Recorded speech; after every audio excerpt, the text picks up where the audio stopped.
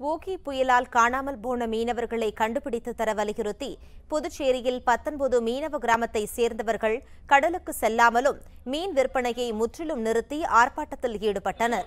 ஓகி புயல் காரணமாக குமரி மாவட்டத்தை சேர்ந்த ஏராளமான மீனவர்கள் காணாமல் போகினர்.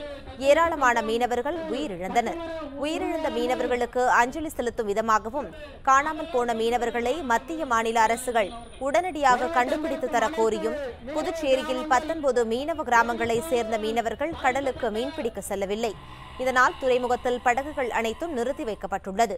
புதுச்சேரியில் உள்ள குபேர் மீன் அங்காடி உள்ளிட்ட அனைத்து மீன் அங்காடிகளும் மூடப்பட்டது. நகர் மற்றும் கிராம பகுதியில் மீன் விற்பனை நிறுத்தப்பட்டது.